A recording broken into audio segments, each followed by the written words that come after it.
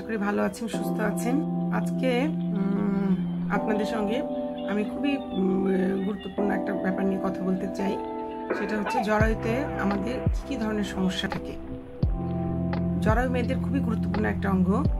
তাই এখানে কোনো অসুবিধা হলে সত্যি সত্যি মেয়েরা অনেকটাই দুশ- দুশ্চিন্তাগ্রস্ত হয়ে পড়ে। মেয়েদের পুরো জীবনচক্রে বিভিন্ন সময়ে বিভিন্ন রকমের জ্বরের সমস্যা হতে পারে, যেমন অনিয়মিত মাসিক, মাসিকের সময় অতিরিক্ত রক্তক্ষরণ, জ্বরের টিউমার, জ্বরের ক্যান্সার, জ্বরের প্রদাহ বা ইনফেকশন পিআইডি যেটাকে বলা হয় এছাড়া প্রোলাপস মানে জ্বর বের হয়ে আসে। এছাড়া পোস্টকয়টাল ব্লিডিং হতে পারে, এটা ছাড়া এন্ডোমেট্রিওসিস অ্যাডেনোমাইসিস তো মাসিক, অনিয়মিত মাসিক যেটা অনিয়মিত মাসিক কিন্তু খুব কমন একটা সমস্যা। কিন্তু আসলে কিন্তু এটা জন্য জরায়ু অতটা দায়ী নয়। এর জন্য ওভারিয়ান হরমোন দায়ী।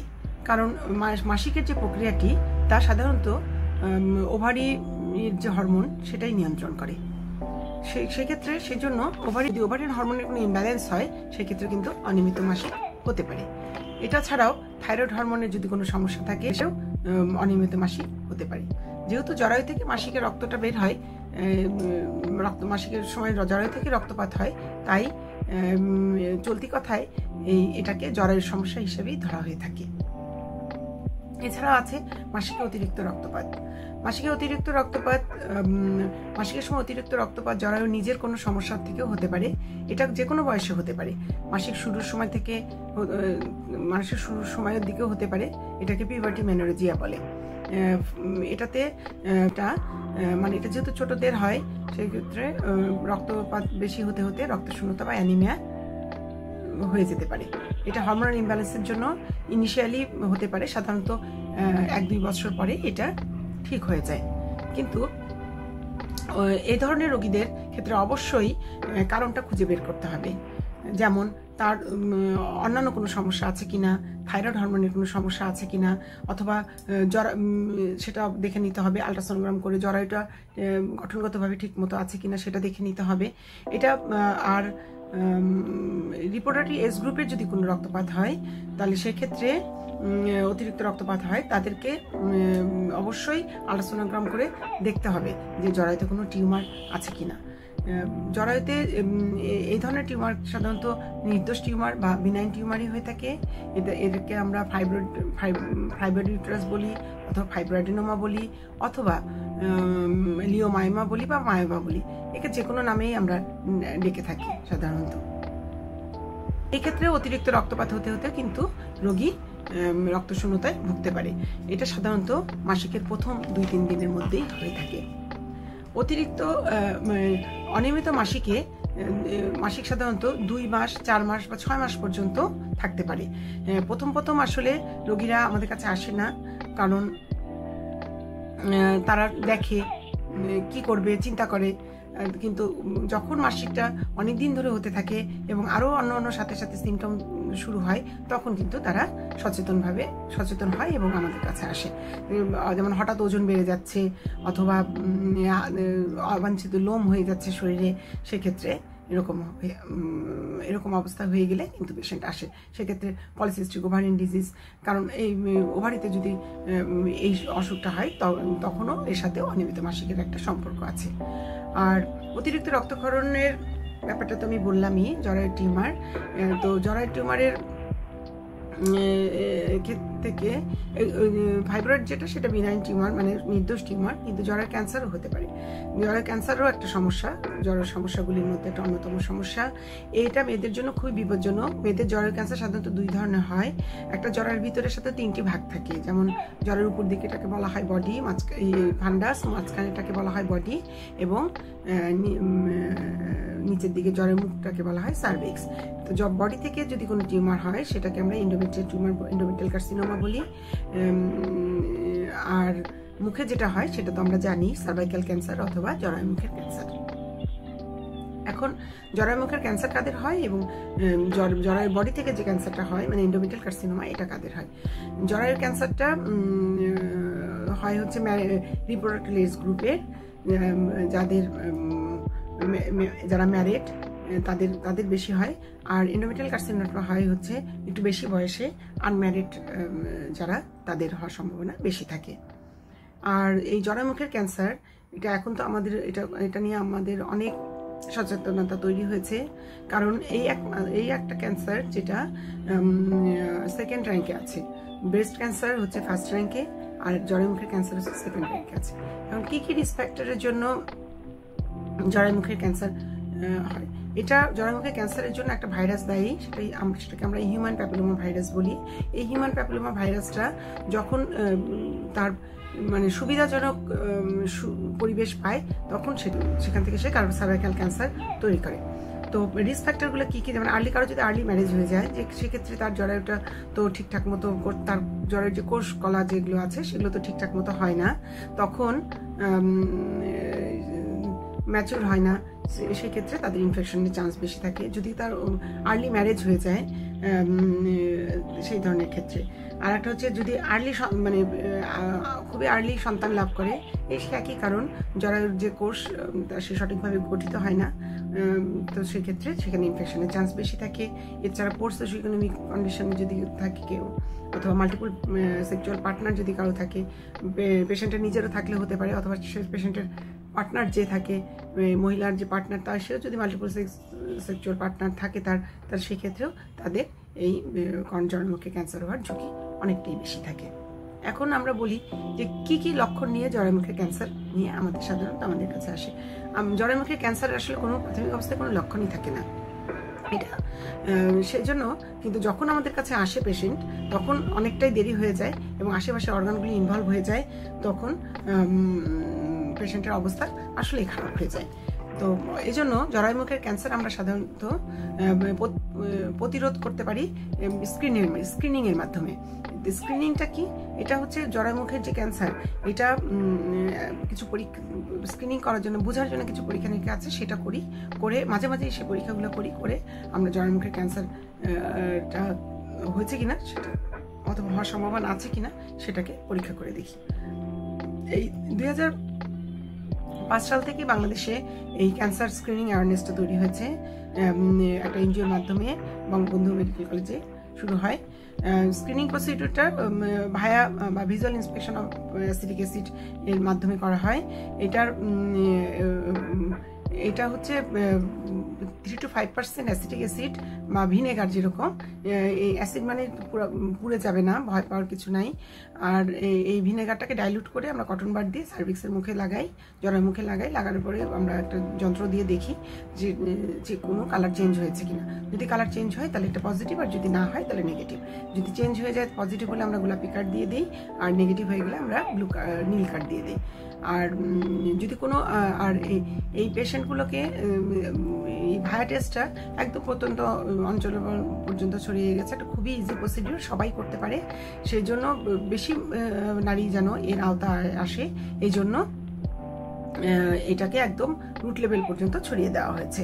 এখন কাদের করব?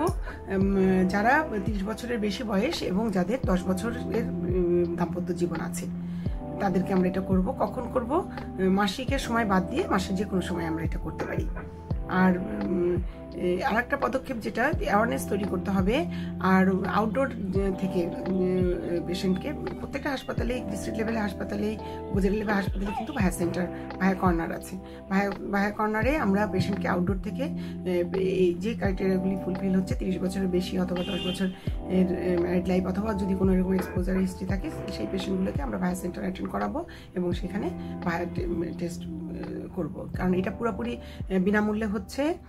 এছাড়াও ভায়া ক্যাম্পও হয়, মাঝে মাঝেই ভায়া ক্যাম্প হয়, সেখানেও আপনারা যেতে পারেন। গিয়ে এই যেহেতু এটা বিনামূল্যে করা হয় এবং এটা খুবই প্রতিরোধ, যদি আপনি আগে থেকে প্রতিরোধ করেন, সঠিক সময় যদি এটা ধরা যায়, তাহলে কিন্তু হান্ড্রেড পার্সেন্ট পর্যন্ত আপনি কিওর হয়ে যেতে মানে নিরাপদ হয়ে যেতে পারবেন। তো সেক্ষেত্রে সরকার যে উদ্যোগটা নিয়েছে, সরকারি, বেসরকারি সবভাবেই আছে। আপনারা সেখানে যাবেন এবং এই পরীক্ষাটা করে, এই স্ক্রিনিংটা করে এইটা কনফার্ম করবেন। কারও যদি ভায়া পজিটিভ হয়, তার মানে কিন্তু তার ক্যান্সার হয়ে গেছে এমনটা নয় তো যাদের ভায়া পজিটিভ হবে, অথবা কোনো যদি ডাউট কেস থাকে, সেটাকেও আমরা কল্পোস্কোপি করে জিনিসটাকে কনফার্ম করে নিব। তো এই ভায়া পজিটিভ মানে যে আপনার ক্যান্সার না, সেটা কিন্তু ভালোভাবে আপনাকে বুঝতে হবে। এখন ট্রিটমেন্টের ব্যাপারে সার্ভাইকাল ক্যান্সারের ট্রিটমেন্ট করার বিভিন্ন পরীক্ষা নিরীক্ষা করতে হয় করে এটা নর্মাল যারা অপারেশন না, এটা একটা জটিল অপারেশন এটা আশেপাশে অনেক কিছু ফেলে দিতে হয়। তাই এই ধরনের রোগের ক্ষেত্রে প্রতিকারের যে প্রতিরোধের যেহেতু জটিল অপারেশন এই জটিলতার মধ্যে আমরা যাব না, এজন্য প্রতি প্রতিকারের চেয়ে প্রতিরোধটা এখানে গুরুত্বপূর্ণ। তো এখন যদি অপারেশন সাধারণত একটা স্টেজিংয়ের উপর ডিপেন্ড করে, যদি টু পর্যন্ত আমরা সাধারণত সার্জারি করি টুর পর হয়ে গেলে রেডিওথেরাপি দেওয়া হয়। আর এই জ্বর ক্যান্সার প্রতিরোধের জন্য একটা ভ্যাকসিন কিন্তু চলছে, সবাই দিয়ে নেবেন ভ্যাকসিনটা নয় থেকে চল্লিশ বছর বয়সের মেয়েদেরকে আমরা এই ভ্যাকসিনটা দিয়ে ভ্যাকসিনের আওতায় নিয়ে আসছি। যদি আর্লি দিকে হয়, তাহলে দুটো ডোজ নিলেই হবে। আর যদি একটু বয়স বেশি হয়, তাহলে সেক্ষেত্রে তিনটা ডোজ নিতে হবে। সার্ভারিক্স ভ্যাকসিনটার নাম সার্ভারিক্স আপনারা অবশ্যই ভ্যাকসিনটা নিয়ে নেওয়ার চেষ্টা করবেন। এছাড়াও জরায়ের সমস্যার মধ্যে আরও দুটা ইম্পর্টেন্ট সমস্যা আছে, সেটা হচ্ছে এন্ডোমেট্রিওসিস এন্ডোমেট্রিওসিস একটা, এটা কি জিনিস? এটা হলো আপনার জরায়ুতে যে নর্মাল এন্ডোমেট্রিয়া মানে জরায়ুর যে ভিতরের যে লেয়ারটা, সেটা যদি জরায়ুতে না থেকে বা আশেপাশে কোথাও থাকে, তাহলে সেক্ষেত্রে এই মাসিকের সময় পেটে তীব্র ব্যথা হবে। এন্ডোমেট্রোসিসের কিছুটা লক্ষণ আপনাদেরকে বলে দিই। এটা হলো মাসিক শুরুর আগে থেকে ব্যথা হবে, মাসিকের সময়ও ব্যথা থাকবে এবং মাসিক শেষ হয়ে গেলেও ব্যথা থাকবে। কিছুটা, মাস শেষ হলে কিছুটা ব্যথা থাকবে। তো সবাই এন্ডোমেট্রিস নিয়ে সচেতন হবেন এবং সঠিক সময়ে ডাক্তারের সঙ্গে পরামর্শ করবেন। আর এটা ছাড়াও প্রলাপস একটা যেটা আমি বলেছিলাম, সেটা হলো যে জরায়ু যদি বের হয়ে আসে, কাদের হয়? একটু মেনোপোজাল লেডিদের মানে মেনোপোজাল মহিলাদের হয়, যাদের অনেক বাচ্চা হয়ে নর্মাল ডেলিভারি অনেক, অনেকগুলি বাচ্চা নর্মাল ডেলিভারি হয়েছে এবং যদি ম্যাল হ্যান্ডেলিং হয় তারপরে হচ্ছে হসপিটাল হোম ডেলিভারি হয় সেই ধরনের পেশেন্টদেরকে কিন্তু এই সমস্যাগুলি দেখা দেয়। কারণ পেশেন্টরা এরাও সহজে আসে না। যখন আসে, তখন দেখা যাবে তার ইউরিনের সমস্যা হচ্ছে, ইউরিন করতে পারছে না কনস্টিপেশন হচ্ছে, পায়খানা করতে পারছে না, তখন তারা এই ব্যাপারে সচেতন হয় এবং আসতে, আমাদের কাছে আসতে বাধ্য হয়। কিন্তু ইনিশিয়াল স্টেজে যদি আসতো, প্রথমে যখন হলো, তখন একটা, দুটো বাচ্চা ডেলিভারি হওয়ার পরে যদি তখন সে এটা ফিল করল, তখনই আসলে তখনই আমরা কিছুটা মেজারমেন্ট মেজার সেফটি মেজার তাদেরকে দিয়ে দিতে পারি, কিছু টেকনিক ওদেরকে শিখিয়ে দিতে পারি, যাতে করে তাদের এইটা আরও খারাপের পর্যায়ে না হয়ে যায়। আর আসলে শেষের দিকে আসলে কিছু করার থাকে না, এটাকে সার্জারি করে মানে অপারেশনই করে দিতে হয়। আর এন্ডোমেট্রিসের সাথে আরেকটা জিনিস আমি বলিনি, সেটা হচ্ছে অ্যাডেনোমাইসিস অ্যাডেনোমাইসিসটা কিউটারাসের মাসেল লেয়ার যেটা আছে, মাংসের যে পর্দাটা, সেটার মধ্যে এন্ডোমেট্রিয়াল গ্ল্যান্ডগুলো কি হয়? টিস্যু এবং গ্ল্যান্ডগুলি ডিপোজিট হয়। ডিপোজিট এটা সাধারণত লেটেস্টের দিকে হয় মানে তিনটা চারটা বাচ্চা হয়ে গেছে, এরকম মহিলাদেরই হয়। এটা হেভি হেভি ব্লিডিং হবে এবং সিভিয়ার পেইন হবে। এটা ট্রিটমেন্ট যেহেতু ফ্যামিলি কমপ্লিট হয়ে গেছে হয়েছে, এটাকে আমরা সার্জারি সাধারণত করে দিই। এটা ছাড়াও জরায়ুতে আরও কিছু সমস্যা আছে। আমি খুব শর্ট করে খালি টার্মগুলি বললাম এবার এবং ভবিষ্যৎ ভবিষ্যতে আমি অন্য অন্য ভিডিওতে প্রত্যেকটা ডিজিজকে আলাদা আলাদা করে বলব যাতে আপনাদের সুবিধা হয়, চিকিৎসা সহ বলব। তো, আজকে এ পর্যন্ত থাকুক। ভালো থাকবেন, সুস্থ থাকবেন। আর টিপস যেটা দিয়ে দিচ্ছি সেটা হলো যে জরায়ু নিয়ে যেহেতু কথা বলছি, সেটা নিয়েই বলি যে, জরায়ুর স্বাস্থ্য ভালো রাখার জন্য আপনারা শুরু থেকে বয়স, ছোট বয়স থেকে বড় বয়স পর্যন্ত প্রত্যেকটা লাইফের প্রত্যেকটা স্টেজে জ্বরের স্বাস্থ্য নিয়ে সচেতন হবেন জ্বরের জ্বরের স্বাস্থ্যকে যত্ন করবেন। আর একটা হাইজিন পার্সোনাল হাইজিন মেনটেন করবেন স্যানিটারি ন্যাপকিন ইউজ করবেন। কারণ কাপড় না ইউজ করে স্যানিটারি ন্যাপকিন ইউজ করবেন। কারণ স্যানিটারি ন্যাপকিন অনেকটাই এই জ্বরের জ্বরের ইনফেকশন থেকে জ্বরের সমস্যাগুলি থেকে আপনাকে দূরে রাখতে পারবে। তো অনেক ভালো থাকবেন, সুস্থ থাকবেন। নিয়মিত মাস্ক নিয়মিত মাস্ক পরবেন নিয়মিত হাত ধুবেন সামাজিক দূরত্ব বজায় রাখবেন, আর খুব প্রয়োজন না হলে বাড়ির বাইরে যাবেন না। ভালো থাকেন, সাবধানে থাকেন, আর আমার এই কথোপকথন যদি আপনাদের ভালো লাগে, তাহলে লাইক করবেন শেয়ার করে দশজনকে জানানোর সুযোগ করে দিবেন। কারণ আমি নিজে সাথে সাথে আমার আশেপাশের লোকজনকে ভালো রাখব, এটাই আমাদের লক্ষ্য হওয়া উচিত। আর যারা নতুন দেখছেন, তারা আমার চ্যানেলটাকে সাবস্ক্রাইব করবেন করে আমাকে আরও বেশি লোকজনের মধ্যে আমার এই স্বাস্থ্য বার্তাগুলি পৌঁছায় দেওয়ার জন্য সুযোগ করে দিবেন। ভালো থাকবেন সুস্থ থাকবেন। আসছি।